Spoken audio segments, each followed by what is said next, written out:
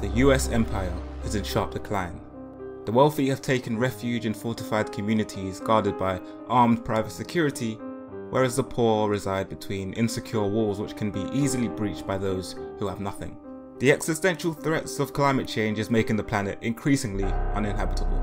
And no, this isn't the world that we see in 2020, this is the world that Octavia Butler depicts in her 1993 sci-fi novel Parable of the Sower, where we follow the story of Lauren, 15 year old who happens to live in one of the aforementioned poor communities. She recognises that things are getting worse, but those around her have come to accept that this is just the way life is now. They are reluctant to any radical changes to improve their standard of living and would rather conserve what they have built. If you lived in a society that is clearly deteriorating around you, what would you do and how would you prepare for the inevitable encounters with wild dogs, thieves, murderers, and those with drug-induced pyromania?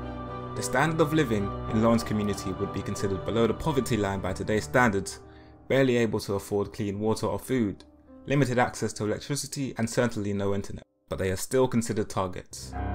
Over time, Lauren develops her own belief system which allows her to fight for a better world beyond the destruction and the violence.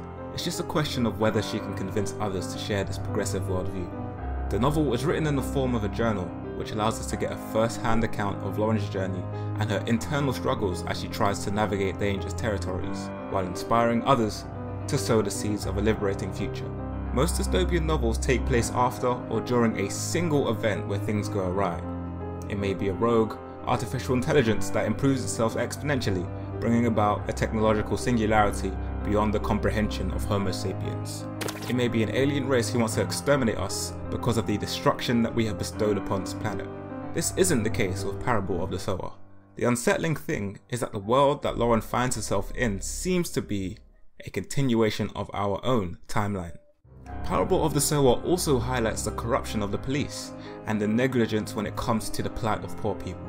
And as we look at the Western world today, we can clearly see that systemic oppression is alive and well, not to mention the deployment of anonymous agents who escalate tensions during peaceful protests and then proceed to attack and kidnap people.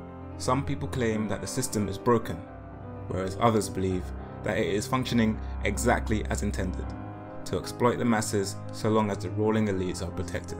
Currently, those in power have sown seeds of perpetual war, environmental destruction, and alienation, and we have to uproot these poisonous plants if we are to save ourselves.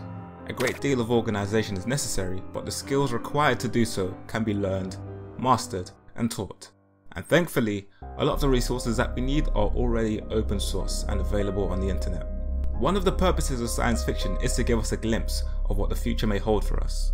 Afrofuturists tend to take this one step further by looking through a lens of black identity, systemic oppression, and liberation. In a world where there are people exploring Mars, Butler focuses instead on something more down to earth. The experience of someone who dreams of being included in that spacefaring future at the forefront of human progress.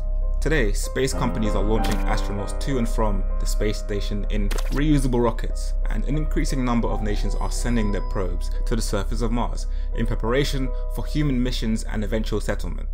So, will we converge with the future depicted in Parable of the Sower, or will we heed these warnings and fork onto a sustainable future where we can govern ourselves in all aspects of society, while leveraging the technological developments of the time to meet all of our needs? Thank you for making it this far into the video. If you know of anyone who may be interested in this kind of content, go ahead and share it to them. Uh, like the video, drop a comment, open a discussion. If you've read the book, let me know what you think of the book. Special shout out to all of the Patreons who are financially backing this cause, and in particular Christopher Hunter, who is currently pledging on the highest level. So, if you have some pocket change that you'd like to chuck my way, go ahead. Uh, it, would encourage me to make videos on a far more frequent basis.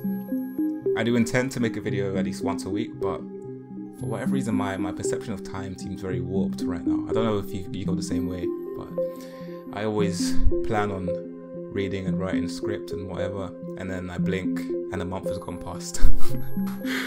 I'll leave I'll leave a few links to some fellow comrades who are producing amazing content um, on a far more frequent basis than I am. Um, yeah, I'm rambling. I'm rambling. I'll let you go. All right. See you in the next one. Hopefully next week.